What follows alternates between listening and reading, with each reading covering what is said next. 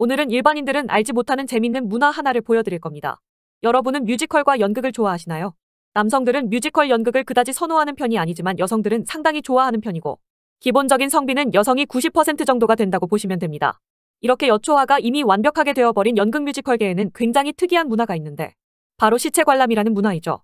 그러니까 간단하게 관람을 할 때는 그 어떠한 행동도 하지 않고 죽은 사람처럼 눈만 끔뻑여야 한다는 건데 몸이 안 좋아져서 공연장을 나가는 것도 진상짓이라 사과문을 작성해야 하고 발 놓는 곳에서 잠깐 소리가 났었는데 한 번 소리 내고 그 뒤로 가만히 있었는데 공연 끝나고 한 관객이 다짜고짜 붙잡고 화내면서 당신 때문에 공연 다 망쳤다 소리 질렀다. 다리를 꼬았다가 풀었다는 이유로 진상 취급받고 지적을 당했다. 키 큰 사람은 뒷자리 예매하라며 단체로 보이콧을 한 적이 있었을 정도로 이쪽 연뮤판은 쉽지 않은 문화를 가지고 있죠. 그리고 난리가 난 내용을 보여드리죠. 한 기자가 뮤지컬 관람을 하고 기사를 쓰기 위해 관람 도중 노트 필기를 했습니다. 그러자 한 여자가 메모는 시끄러우니까 하지 말라는 지적을 했다고 하죠. 그녀는 심지어 객석 안내원을 불러서 항의까지 하는 모습을 보입니다. 진짜 가지가지하는 여초 문화를 여러분은 보실 수가 있는데 여기서 놀라운 건 수많은 연극 뮤지컬 팬 여러분들께서는 1시간 40분짜리 공연에 필기를 해야지만 기사를 쓰는 건 능력이 없다고 광고하는 거다. 기자를 업으로 삼는 사람이 메모를 해야지만 기사를 쓸 수 있다는 건 다른 직업을 찾아야 하는 거다. 여자들이 좋아하는 취미라고 마녀 사냥하고 싶은 기자가 기사 쓴 거다. 라는 말을 하며 기자를 욕하는 모습을 보이죠. 그리고 자랑스러운 여성시대에서는 본인 때문에 남이 불편하다는데 그걸 받아들이지 못하는 것 자체가 한심하다. 당신들이 쾌적하게 극을 볼 수 있는 건 고고한 연극 뮤지컬 덕후들이 시체 관람을 해줘서 그런 거다. 시체 관극을 이야기하는 건 여초 문화를 패는 행위이다. 라는 말을 하면서 저 기자님을 향해서 조롱을 날리는 모습을 보입니다. 그녀들의 발언 중 스스로를 고고하다 표현한 내용을 보시면 그녀들이 어떤 느낌으로 연극 뮤지컬을 보는지 알 수가 있죠.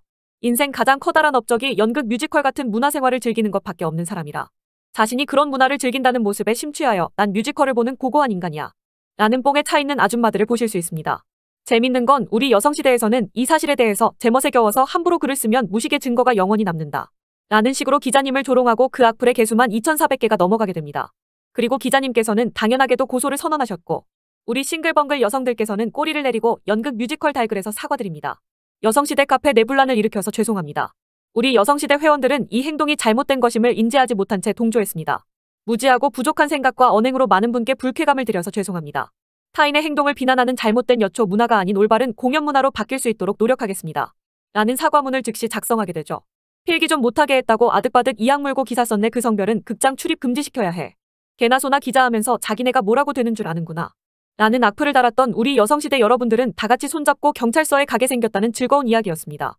여러분은 이런 여초 문화에 대해 어떻게 생각하시나요? 손 모은 자세로 뮤지컬을 봤다고 진상 취급을 하는 문화가 올바른 문화일까요? 제가 언제나 말하는 여중여고여 대간호사 문화가 바로 이런 겁니다. 진짜 남성들은 상상하지도 못할 방식의 문화들이 넘쳐나는 게 이곳 여초문화이고 어째서 우리가 남자와 여자라는 각기 다른 성별을 가지고 태어났는지 알 수가 있는 부분이죠. 어떤 상황이든 간 적당히 성별이 섞여 있어야 이상적이다는 진리를 여러분께 보여드렸습니다. 영상 여기서 마치도록 하죠. 여러분의 구독과 좋아요는 여초문화 확성기 은희의 저녁밥값에 커다란 도움이 됩니다. 오늘의 한 줄 요약.